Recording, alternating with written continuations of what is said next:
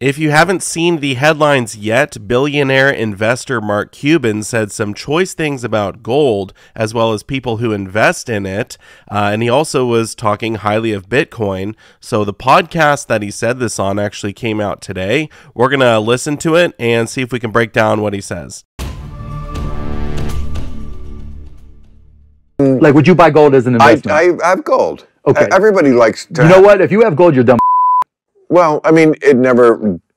It's a, it's a, it's a small part. It's like a hedge against everything else. It's a hedgement against everything, but Yes, it is. It's No, a, and- would I be but it's all not in a hedge- gold? No. No, but it's not a hedge against anything, right? What it is Well, is a it's a- store value, and you don't Yeah. own the physical gold, do you? So Mark Cuban comes out the gate swinging. First, he says, if you own gold, you're an idiot, uh, although he didn't put it that eloquently. Second, he says gold is a hedge against nothing, which is an interesting stance. Then he says gold is a store of value. So at least he's conceding that gold has some purpose. You can store value in gold. But then he asks Bill Maher if he owns any physical gold. No, no. Of course. Well, I don't. Who the knows?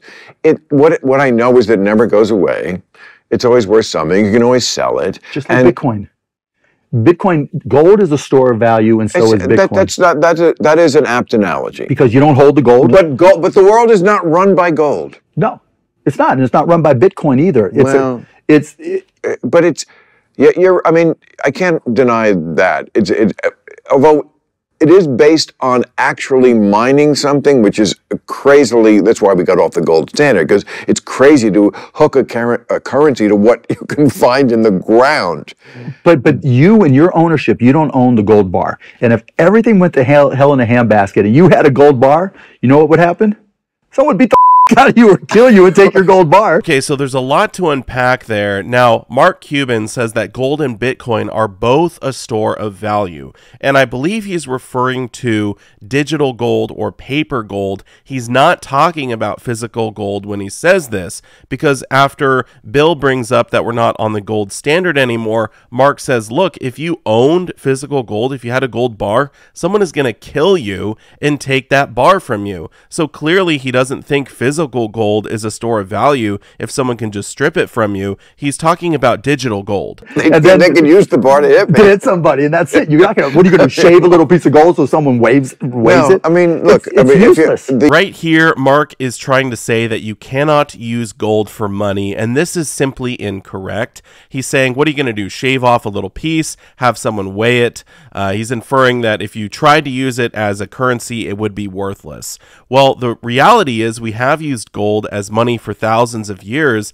and in fact, last year, people were shaving off little pieces of gold in Venezuela to pay for things because their currency was going through hyperinflation. Their currency was the thing that was worthless, and the thing that had worth and value was the physical gold. the idea that money is an idea is not wrong. no, it's right. But we tie our money to, I mean, Apple makes something. A phone is something real that you, You drop really in the need toilet. gold jewelry. If the world, no, but you're gold obsessed with gold. Most of the economy is not gold. No, but the point Most of the economy is iPhones, But we're which is a about real Bitcoin. thing with real Right, value, we're talking and it's been valued at a thousand dollars. But we're so talking it's about- pegged to something, we're talking about Bitcoin, and which is pegged to nothing. which is neither is gold, really, right? Again, gold. If You gold was own- if gold was controlling our economy right now, I would say you have a good argument. Gold is not. We got off gold in the 30s. No, and that's, you're making my point, though, Bill. You're making my point. When you own gold, all you own is a digital transaction. And there is the confirmation right there. So basically, Mark thinks that if you own physical gold, it's completely worthless. You're an idiot. Someone's just going to kill you and take it from you. But if you own a paper version of gold, digital gold, all you own is a digital transaction. And he's actually right. If the only gold you own is a gold ETF, you don't actually own gold. You just own a coupon that says you have gold. When you Which own is Bit- why we're not mostly in gold.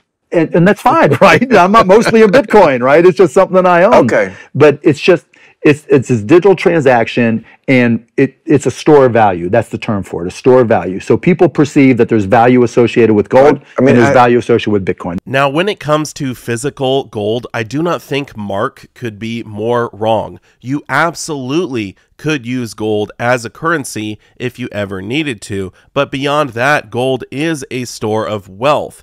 It's insurance. If there ever was a currency collapse, your wealth would evaporate except for the wealth that was stored in physical precious metals and physical assets. So I think gold is extremely important and everyone should own some physical gold. But when it comes to paper gold or digital gold, I kind of agree with him in the sense that it's similar to Bitcoin. They are both just numbers on a screen, but I do not think that either paper gold or digital gold, whatever you want to call it, or Bitcoin are a great store of wealth because there's a lot of counterparty risk. And if you ever needed to access that wealth, you may not be able to. However, with physical gold, you can literally pick it up, hold it in your hand. There's zero counterparty risk. So you're always in control of your own wealth. But the thing is, Mark Cuban has hated gold for a long time.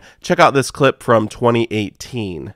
I hate gold. Gold is a religion. There's abs- there's some some fundamental value to gold, but everything else it's it's a collectible. I, I see gold and Bitcoin as being the same thing. Well, hate is a strong word. Uh, okay. So the miners too, all of gold, the whole gold spectrum. Individually, as people, I've heard they're great people, but as a, as an investment, okay, you're right. Hate is not strong enough. Hate with extreme prejudice as an Wow. investment. Oh gosh. Okay, so Bitcoin and gold on the same level for They're you. both collectibles. Okay. They're, they're, the value is based off of supply and demand. And the good news about Bitcoin is there's a finite supply that'll ever be created. And the bad news about gold is they'll keep on mining more.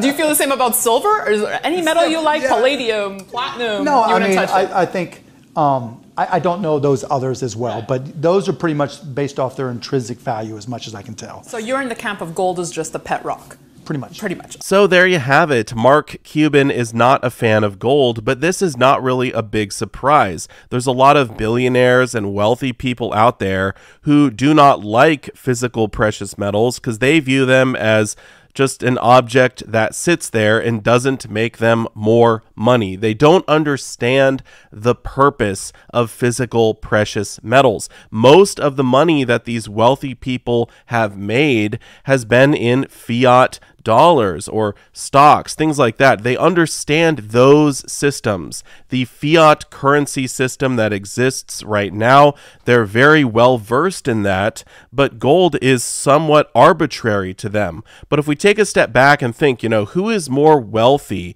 than a billionaire? Well, we could look at central banks. Central banks, they literally control the supply of money and they love gold. They stack physical gold. They hold it on their balance sheet. So if a central bank wants to stack gold because they know that things can happen to currencies down the road, well, that's good enough for me. And if we ever went through a major currency crisis, you know, hyperinflation, something like that, well, I think Mark Cuban would actually find that a lot of his wealth could easily evaporate away. This is a $10 trillion bill from Zimbabwe. Now, they went through hyperinflation and the value of their currency plummeted. Now, before they went through hyperinflation, if you had $10 trillion, you were extremely wealthy. I mean, you were a trillionaire, right? But after hyperinflation, you could not even buy a cup of coffee with this $10 trillion bill. If all of your wealth is wrapped up in a fiat currency and the value of that currency plummets, then you have no wealth. So that's why it's so important to store your wealth in alternative currencies like gold, silver, have other assets, right? Physical things that you can hold in your hand. Be like the central banks. Stack gold. That's what I'm doing. I'm not listening to Mark Cuban. I'm not buying it for one second. Uh, but anyway, I do want to know what your thoughts on this are. Feel free to leave them down below in the comment section. And I'll see you all in my next video. Silver Dragons out.